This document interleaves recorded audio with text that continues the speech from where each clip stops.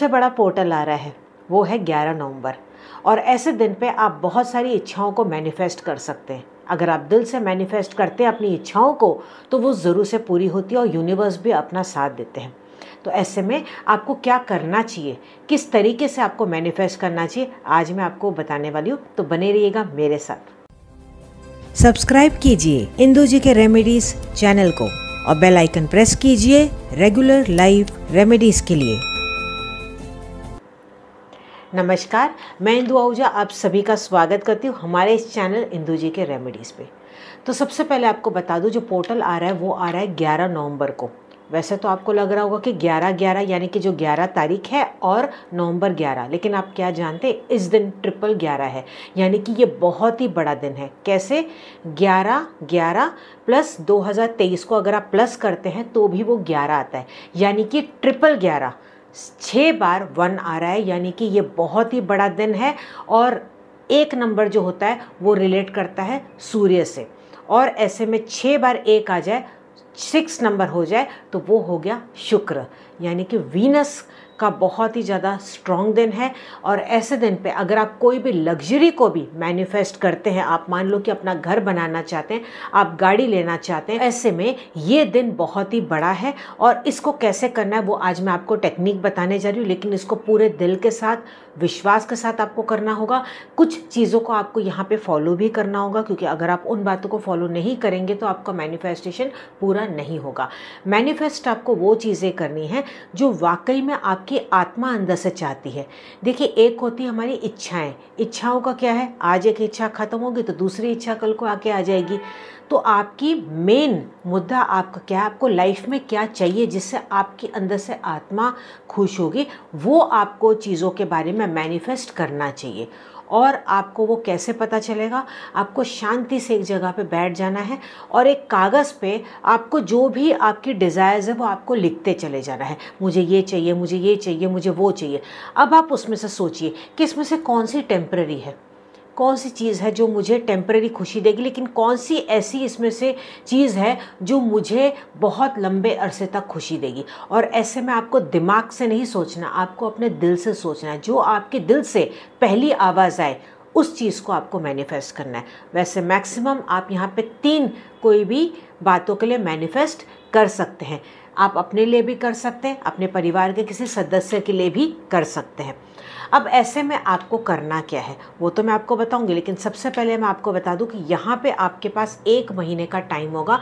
उस एक महीने में आप कभी भी कर सकते हैं। ग्यारह नवंबर से लेके ग्यारह दिसंबर तक इस एक महीने में आप इसको कर सकते हैं। लेकिन यहाँ पे मेरा सुझाव ये रहेगा कि 11 तारीख से आप इसको शुरू करें, यानी कि 11 नवंबर से आपको शुरू करना है और 11 दिन तक आप इस उपाय को करेंगे। हार्डली आपको पाँच मिनट भी नहीं लगेंगे, पूरे दिन में कभी भी करना है या रात को भी आप इसको कर सकते हैं।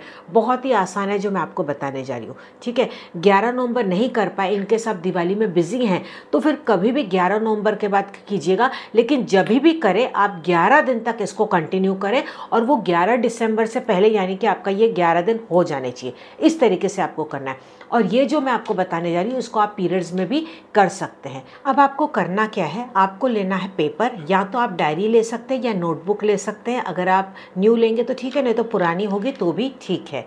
अब आपको करना क्या है ग्रीन कलर की पेन या ग्रीन कलर का स्केच पेन यहाँ पे लेना बहुत ही ज़रूरी है जल्दी मैनिफेस्ट करने के लिए। नहीं मिल पाता तो फिर लास्ट में आप ब्लू पेन का इस्तेमाल कर सकते हैं। कोई भी आपकी इच्छा आप लिख लेंगे। पहले तो आपको क्या करना है, आपको क्या क्या चाहिए वो आपने लिख लिया। अब उसमें से आप टिक मार्क कर लीजिए, हाईलाइट कर लीजिए कि कौन कौन सा इसमें से मेन तीन है जो आपको सबसे पहले चाहिए। वो वन, टू, थ्री इस तरीके से करें। अब जब वो मार्किंग हो जाए, फिर वो जो आपने डायरी या पेपर या बुक जो भी लिया है उसमें आप, सबसे पहला जो इम्पोर्टेंट है, वो आप लिखेंगे, लेकिन अब आप अलग तरीके से लिखेंगे। आप लिखेंगे कि आपकी ये इच्छा पूरी हो चुकी है। मान लो कि आप चाहते हो प्रॉपर्टी अपना घर बनाना चाहते हो तो मेरा घर बन चुका है, मैं बहुत खुश हूँ। आप अपनी भाषा में इसको लिखेंगे, जैसे आपके दिल से आए। यानी कि वो चीज़ हो चुकी है प्रेजेंट टेंस में आप उसको इन्जॉय कर रहे हैं, ठीक है? इस तरीके से आपको लिखना है। अब जो भी आपने विश अपनी लिखी है, जो भी आपने मैनिफेस्ट किया है, उसको आप ग्यारह बार लिखेंगे। अब मान लो कि आपकी दूसरी भी कोई विश है, तीसरी भी कोई विश है तो आप तीनों को ग्यारह ग्यारह बार मतलब हर एक विश को आपको ग्यारह बार लिखना है। ओके? चाहे फिर वो खुद की हो या किसी और की हो। टोटल थ्री से ऊपर नहीं होना चाहिए। एक या दो भी चलेगा, लेकिन थ्री के ऊपर क्रॉस नहीं करना है। तो आपने ऐसा लिख लिया मतलब एक बार ग्यारह, फिर दूसरी बार को ग्यारह, फिर तीसरी बार को ग्यारह। फिर नेक्स्ट दिन आप उसको रिपीट करेंगे। उसी सेंटेंस को आप लिखते चले जाएँगे। ऐसा आप कंटिन्यू 11 दिन तक करेंगे और जब भी आपका लिख के हो जाए तो जो भी आप कागज़ या डायरी जो भी लिख रहे हैं, उस डायरी को या किताब को आप घर के पश्चिम, यानी कि वेस्ट डायरेक्शन में रखेंगे कोई भी कमरे के। वेस्ट डायरेक्शन अगर आपको नहीं पता चलता तो देखिए आप मोबाइल में कंपस को डाउनलोड करके देख सकते हैं।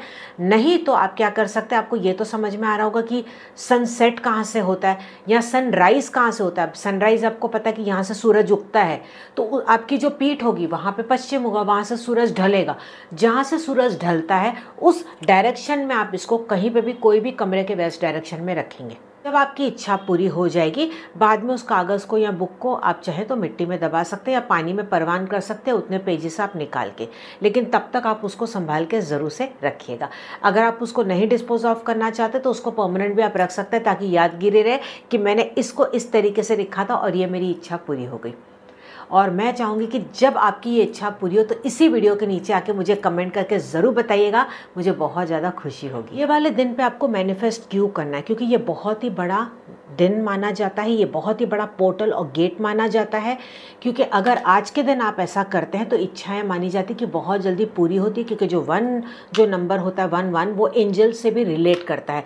देखिए, बहुत लोगों को ग्यारह ग्यारह नंबर दिखाई देता है। कई बार आपको कार के जो नंबर्स होते हैं, उसमें दिखाई देता होगा। कई बार अचानक से आपकी घड़ी पर नज़र जाती होगी तो आपको वन वन दिखाई देता होगा। इसका मतलब ये है कि एंजल्स आपके साथ हैं तो उस मैसेज को आप समझने की कोशिश करें। यानी कि अब आपको हार्डवर्क करने की ज़रूरत है, आपका समय आ चुका है, आपकी किस्मत खुलेगी। तो जो भी आप कार्य कर रहे हैं, उसमें आपको हंड्रेड परसेंट देना है। अब मैं आपको और एक यहाँ पे रेमेडी देने जा रही हूँ, जो कि बहुत ही सुपरबली काम करेगी और इस दिन आप ज़रूर से कीजिएगा, क्योंकि देखिए, ये दिवाली के दिन है और इस दिन आप वेल्थ के लिए अगर ये रेमेडी करते हैं, ख़ास तौर पे 11 नवंबर को तो ये बहुत अच्छे से काम करेगा। अगर आपने इसको ग्यारह बज के ग्यारह मिनट पर भी कर लिया तो सोने पर सुहागा जैसा काम। यानी कि सुबह के ग्यारह बज के ग्यारह मिनट या रात के ग्यारह बज के ग्यारह मिनट पर भी आप कर सकते हैं। नहीं तो पूरे दिन में कभी भी कीजिएगा, बहुत ही ईजी रेमेडी है। आप इसको एक दिन पहले रेडी कर कर सकते हैं। आपको करना क्या है? एक प्लेन कागज़ लेना है। एक प्लेन ऐसे कागज़ ले लीजिए और उस पर आप लिखिए सिक्स टाइम्स वन यानी कि one one one one one one. एक ही लाइन में आप इसको लिख लेंगे और आप इसको लिखेंगे रेड कलर की पेन से या ग्रीन कलर की पेन से या स्केच पेन से।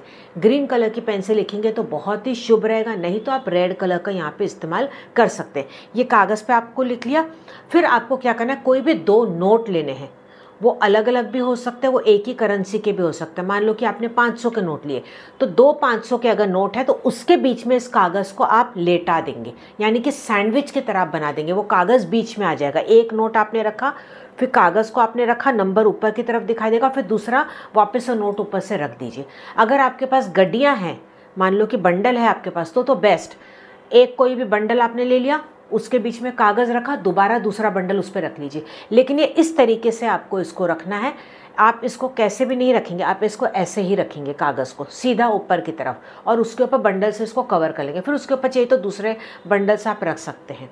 ठीक है? इसको आप तिजोरी में रखिएगा।